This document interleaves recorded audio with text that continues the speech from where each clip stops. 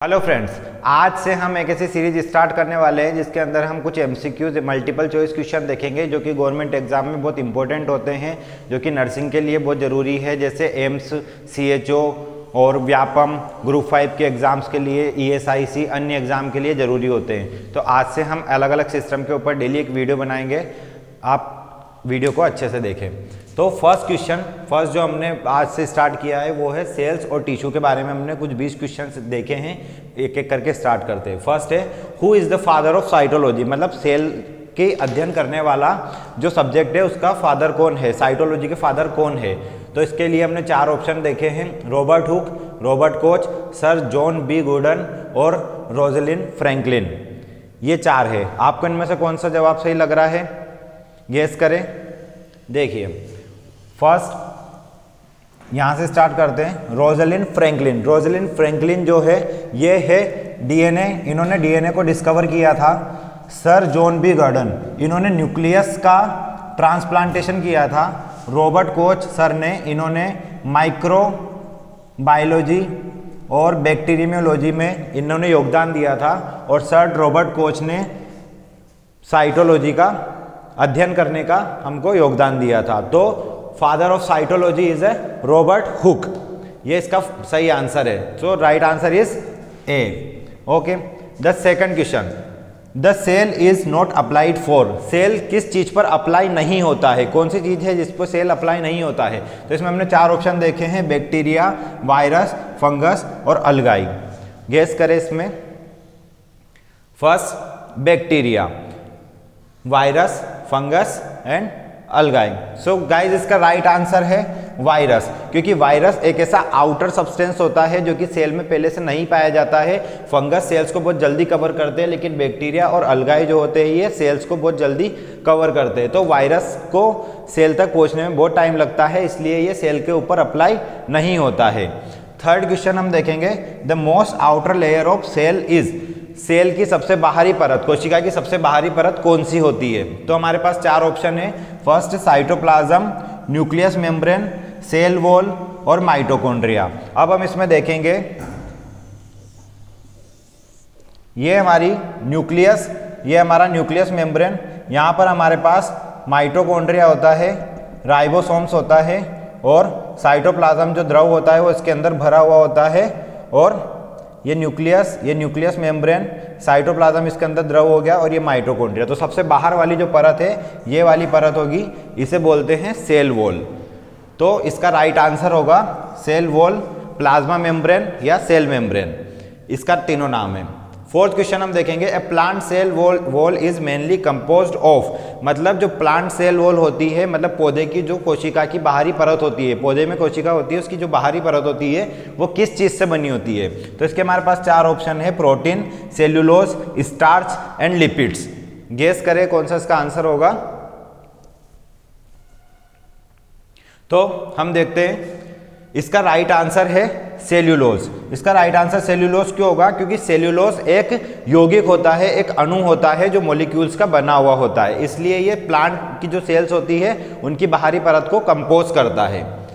Next question what are known as suicidal bag किस चीज़ को आत्महत्या की थैली के रूप में जाना जाता है? तो चार ऑप्शन हमारे पास ribosome parasite माइट्रो micro organisms and lysosome अब इन चारों में से किसको सुसाइडल बैग या आत्महत्या की थैली के रूप में जाना जाता है। तो गाइज़ हम देखेंगे माइक्रो ऑर्गेनिज्म सूक्ष्म कण होते हैं, सूक्ष्म जीव होते हैं जो हमारे शरीर में पाए जाते हैं। पेरेसाइट ऐसे जीव होते हैं जो अपने जीवित रहने के लिए आसपास के कीटाणु, आसपास के जो भी वस्तुएँ होती हैं, उनको घेर लेते हैं और राइबोसोम सेल के अंदर पाए जाते हैं, जो कि बहुत छोटे कण होते हैं। और लाइसोसोम ऐसे ऐसे पदार्थ होते हैं जिनको जब भूख लगती है या जिनको जब मतलब एनर्जी की आवश्यकता होती है तो ऐसे टाइम पे वो खुद को ही खाने लगते हैं। तो इसका राइट आंसर होगा लाइसोसोम ये सुसाइडल बेग के रूप में कंपोज होते हैं। नेक्स्ट है lysosome is known as suicidal bag because मतलब लाइसोसोम को सुसाइडल बेग बोलते हैं, लेकिन क्यों बोलते हैं, उसका क्या कारण है? तो इसके लिए हमारे पास चार ऑप्शन है। उसकी हाइड्रोलाइटिक एक्टिविटी की वजह से केटेलाइटिक एक्टिविटी की वजह से पैरासाइटिक एक्टिविटी की वजह से या न्यूरोलाइटिक एक्टिविटी की वजह से। हाइड्रोलाइटिक एक्टिविटी के अंदर में आता है किस तरीके से वो अपने आयंस को, किस तरीके से कार्बन कार्बोहाइड्रेट प्रोटीन इन सबको वो सेचुरेट करता है। कैटेलाइटिक एक्टिविटी का मतलब होता है स्पीड बढ़ाने वाले कारक। पेरेलाइटिक पेरेसाइटिक एक्टिविटी पेरेसाइटिक एक्टिविटी का मतलब होता है कि जो लाइसोसोम होता है वो खुद को ही खाने लगता है। या किसी और को, बाहर वाले अणुओं को खाता है और न्यूरोलाइटिक एक्टिविटी का मतलब होता है क्योंकि उसके अंदर तंत्रिकाएँ ज़्यादा होती है। तो इन चारों में से राइट ऑप्शन है हाइड्रोलाइटिक एक्टिविटी क्योंकि लाइसोसोम के अंदर कार्बोहाइड्रेट प्रोटीन्स फैट्स आदि चीज़ों का एक्टिविटी होता है। ठीक है? नेक्स्ट है next question the fluidity of plasma membrane increase with तो प्लाज्मा मेम्ब्रेन की जो फ्लूडिटी होती है, जो तरलता होती है, वो किस चीज़ के साथ बढ़ती है, किस चीज़ के बढ़ने के साथ बढ़ती है, किस चीज़ के घटने की वजह से बढ़ती है। तो चार ऑप्शन है increase in glycolipids increase in unsaturated fat increase in saturated fat and decrease in phospholipid तो इसका राइट आंसर है इंक्रीज इन सेचुरेटेड फेट मतलब जब सेचुरेटेड फेट बढ़ते हैं, जब फेट्स अच्छी तरीके से सेचुरेट होते हैं, जब अच्छी तरीके से घुलते हैं वसा में तो उसके साथ साथ प्लाज्मा मेम्ब्रेन की तरलता भी बढ़ती जाती है। नेक्स्ट क्वेश्चन है a cell without a cell wall is term as मतलब ऐसी सेल जिसके अंदर सेल वॉल या फिर प्लाज्मा मेम्ब्रेन हम कह सकते हैं कि बाहरी परत नहीं होती है। तो ऐसी सेल को हम क्या नाम देंगे? तो ऐसी सेल को चार ऑप्शन है टोनोप्लास्ट प्रोटोप्लास्ट सिम्प्लास्ट और एपोप्लास्ट तो इसका राइट आंसर है प्रोटोप्लास्ट तो एक सेल जिसके अंदर सेल वॉल नहीं होती है उसको हम प्रोटोप्लास्ट कहते हैं। Next question how much percentage of cytoplasm form cell मतलब कितना परसेंटेज सेल के अंदर साइटोप्लाज्म होता है जिससे उसका निर्माण होता है। सेल का कितना परसेंट साइटोप्लाज्म निर्माण करता है? तो 45, 60, 70 या 35 परसेंट सेवेंटी परसेंट इसका राइट आंसर है। सेवेंटी परसेंट मतलब एक सेल के अंदर सत्तर परसेंट तक साइटोप्लाज्म या कोशिका द्रव भरा होता है। नेक्स्ट क्वेश्चन है which cell formation has been done after fusion of ovum and sperm मतलब जब ओवम और स्पम का फ्यूजन होता है या मिलान होता है तो उसके दौरान या उसके बाद में कौन सी सेल का निर्माण होता है? तो ऑप्शन से alpha cell zygote red blood cells and beta cell तो दोस्तों, जब भी जब भी स्पर्मेटोजोवा स्पर्म और ओवम दोनों का ही कनेक्शन होता है। जब दोनों का फ्यूजन होता है, जब दोनों का विस्फोट होता है तो उसके बाद में शरीर के द्वारा जाइगोट सेल का निर्माण होता है। तो राइट आंसर इज़ बी हाँ। नेक्स्ट क्वेश्चन है the connective tissue that connects muscle to bone is called मतलब मसल्स को बोन के साथ में जोड़ने वाले कनेक्टिव टिश्यू कौन कौन से होते हैं? इनमें से कौन सा है जो मसल्स को बोन से जोड़ने वाला कनेक्टिव टिश्यू है? फ़र्स्ट ऑप्शन है ligaments tendons nerve tissue all of the above मतलब लिगामेंट्स टेंडन्स और नर्व टिश्यू और इन तीनों में से कौन सा है या नहीं है? ठीक है तो इसको हम देखते हैं। तो हमेशा जब भी कनेक्टिव टिश्यू की बात आती है तो कनेक्टिव टिश्यू हम, हमेशा हमारी बोन्स को कनेक्ट करने के काम आते हैं। तो बोन्स को कनेक्ट करने के लिए हमको नर्व फाइबर्स नर्व टिश्यू की ज़रूरत पड़ती है टेंडन्स की ज़रूरत पड़ती है। टेंडन्स जो मसल्स को स्ट्रॉन्ग बनाने का काम करते हैं और लिगामेंट्स दो बोन को आपस में जोड़ने का काम करते हैं। तो इसका राइट आंसर होगा ऑल ऑफ़ दी अबाव मतलब ये सारी चीज़ें मिलकर के कनेक्टिव टिश्यू के रूप में काम करती है, जो बोन्स को मसल्स के साथ में जोड़ती है।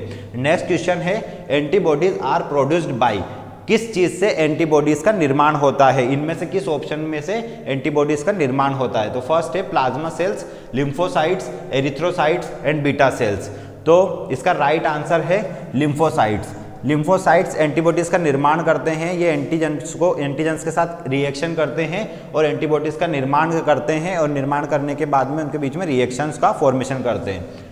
नेक्स्ट है which cells is affected by H मतलब जब भी शरीर में एचआईवी होता है, जब एचआईवी वायरस शरीर के अंदर एंटर करता है तो कौन सी सेल जो है वो अफेक्ट होती है, प्रभावित होती है? अल्फ़ा सेल न्यूट्रोफिल्स बेसिनोफिल्स या हेल्पर टी सेल इन चार में से कौन सी सेल ऐसी है जो अफेक्ट होती है एचआईवी के शरीर में प्रवेश करने के बाद में? तो इसका राइट आंसर है helper T cell helper T cell HIV के शरीर में प्रवेश करने से एड्स का उत्पन्न करती है, जिसकी वजह से हेल्पर टी सेल्स अफेक्ट होती है। नेक्स्ट क्वेश्चन है plasma cells are formed from plasma cells किसके द्वारा बनती है? इनमें से किस सेल्स के द्वारा प्लाज्मा सेल्स का निर्माण होता है? तो इसके ऑप्शन हमारे पास है beta cell RBC WBC and plasma इन चारों में से किससे प्लाज्मा सेल्स का निर्माण होता है? तो आरबीसी और डब्ल्यूबीसी प्लाज्मा सेल्स से अलग होता है और बीटा सेल्स इसका राइट आंसर है। बीटा सेल्स के द्वारा प्लाज्मा सेल्स का निर्माण होता है। Next question, last next question है, the death of tissue is term as. मतलब जब टिश्यू की डेथ हो जाती है मतलब टिश्यू को हम लोग क्या कहते हैं, उसका क्या टर्म हम लोग यूज़ करते हैं? तो साइनोसिस, साइनोसाइटिस, नेक्रोसिस या थ्रोम्बोसिस, इन चारों में से किस चीज़ का हम लोग यूज़ करते हैं टिश्यू की डेथ का टर्म के रूप में? थ्रोम्बोसिस का मतलब होता है, वेंस और आर्टरीज में हमारी जो मस, हमारी जो ब्लड वेसल्स होती है, उसमें स्वेलिंग आना। नेक्रोसिस साइनोसाइटिस और साइनोसिस साइनोसिस का अर्थ होता है शरीर का नीला पड़ना, क्योंकि शरीर के अंदर ऑक्सीजन की कमी हो जाती है। साइनोसाइटिस हमारे साइनस केविटी में होने वाली इन्फ्लामेशन होती है, जिसकी वजह से नेजल ब्लॉकेज हो जाता है और हमको सर्दी छींक वगैरह स्टार्ट हो जाती है। तो इसका राइट आंसर होगा नेक्रोसिस नेक्रोसिस का अर्थ होता है टिश्यू की डेथ होना। नेक्स्ट है which among of the following is not a function of epithelium tissue मतलब which among of the following is not a function of epithelium tissue का अर्थ होता है कि इनमें से कौन सा ऐसा आंसर है या ऐसा ऐसा कौन सा ऑप्शन है जो कि एपिथेलियम टिश्यू का फ़ंक्शन नहीं है। इनमें से कौन सा ऐसा फ़ंक्शन है जो एपिथेलियम टिश्यू का फ़ंक्शन नहीं है? तो protection structural support secretion and absorption ये चार ऑप्शन है। तो एपिथेलियल टिश्यू इनमें से कौन सा काम नहीं करता है? तो एपिथेलियल टिश्यू प्रोटेक्शन का काम करता है। सेकंड है एपिथेलियम टिश्यू सिक्रेशन भी करता है हॉर्मोन्स का और एपिथेलियम टिश्यू के अंदर एब्जॉर्प्शन भी होता है।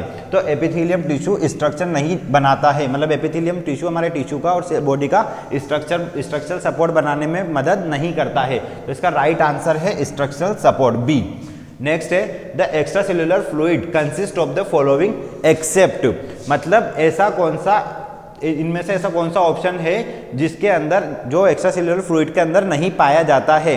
तो एक्स्ट्रा सेल्यूलर फ्लूड ऐसा फ्लूड होता है जो हमारी सेल्स के बाहर की ओर पाया जाता है और इंट्रा सेल्यूलर फ्लूड सेल के अंदर पाया जाता है।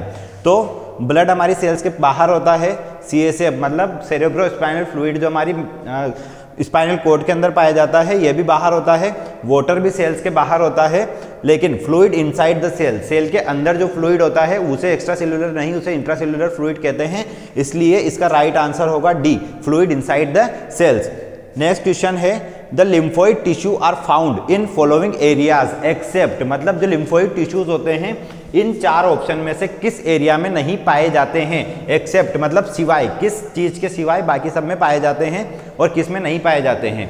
तो जो लिम्फोइड टिश्यूज होते हैं, वो लिम्फ नोड में पाए जाते हैं स्प्लिन के अंदर भी पाए जाते हैं और पेलेट और ट्रॉन्सिल्स मतलब हमारे मुँह के अंदर भी पाए जाते हैं, लेकिन हार्ट के अंदर नहीं पाए जाते हैं। तो इसका राइट आंसर होगा हार्ट नेक्स्ट क्वेश्चन है which is the most initial tissue in animals मतलब हमारे एनिमल्स जानवरों के अंदर में सबसे इनिशियल टिश्यू सबसे प्राथमिक टिश्यू सबसे शुरुआती टिश्यू कौन सा होता है? Connective tissue muscular tissue nervous tissue या एपिथिलियम टिश्यू तो इसका राइट right आंसर है कनेक्टिव टिश्यू क्योंकि उनकी मसल्स को कनेक्ट करना आवश्यक होता है, क्योंकि एनिमल्स के अंदर मसल्स सबसे इंपॉर्टेंट होता है, उनकी मसल्स काफ़ी हैवी होती है और हैवी फैट के साथ बनी होती है। इसलिए कनेक्टिव टिश्यू सबसे इनिशियल टिश्यू के रूप में जाना जाता है। नेक्स्ट है the tissue that helps in movement of the body is मतलब बॉडी की मूवमेंट में कौन सा टिश्यू हेल्प करता है? सो इसके ऑप्शन है हमारे पास muscular tissue nervous tissue connective tissue and none of this above connective tissue bones को कनेक्ट करते हैं नर्वस टिश्यू हमारी नर्वस सिस्टम के साथ काम करते हैं और तंत्रिकाओं को सुचारू रूप से चलाते हैं। लेकिन मसल्स हमारी बॉडी की मूवमेंट के लिए आवश्यक होता है। सो so, इसका राइट right आंसर है मस्कुलर टिश्यू ये हमारे सारे क्वेश्चन है। आई होप आपको वीडियो पसंद आया होगा। मिलते हैं इसी सीरीज़ की नेक्स्ट वीडियो में जहाँ हम और भी एमसीक्यूज के बारे में देखेंगे। Thank you